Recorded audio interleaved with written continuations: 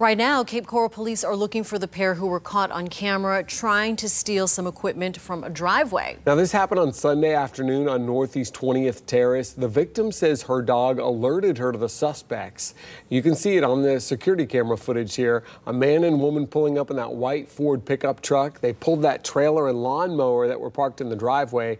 The victim then opened the garage door and the crooks took off. If you know who they are, you can call 1 800 780 TIPS or use that P3 Tips app.